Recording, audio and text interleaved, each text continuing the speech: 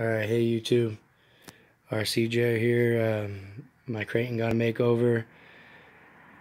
My body for my V4 was a little bit worse for the wear. Started cracking up the front and the back. So I decided to get a new lid for a car that was once called Blue Mamba. But um, as you can see, this thing is a beast now.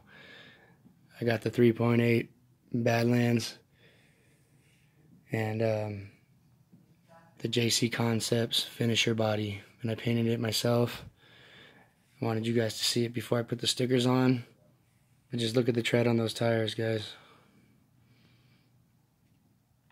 If this thing was jumping 60 70 feet before it's gonna be beating that now and doing it with style. So tell me guys what you think about my new paint job and uh, it's my second paint job. I, you guys saw my my purple and silver drift car, but this is my my favorite RC car by far.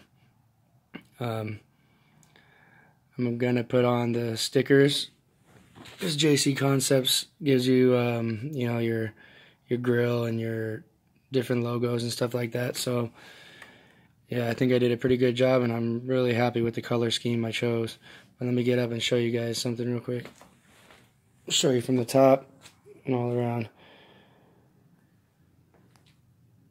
I actually just got done about 15 minutes ago. So uh, let me know in the comments what you guys think. How does it look?